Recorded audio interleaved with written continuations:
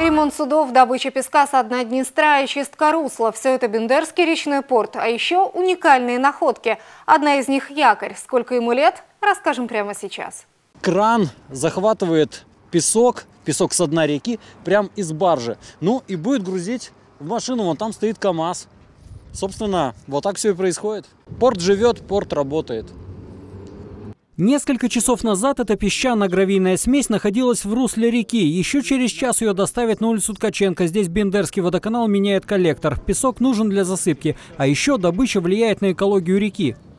Основная задача одноугловительных работ – это пропуск э, паводковых вод и обеспечение чистоты реки. Это с точки зрения экологии, с точки зрения э, безопасности очень целесообразно.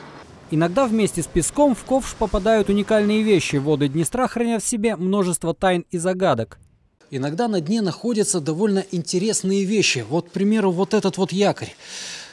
Люди, которые его нашли, примерно думают, что он века так 19 а может быть даже и 18 либо румынский или турецкий. На каком судне он стоял, неизвестно. Но то, что это не советский якорь, 100%, уникальный экспонат.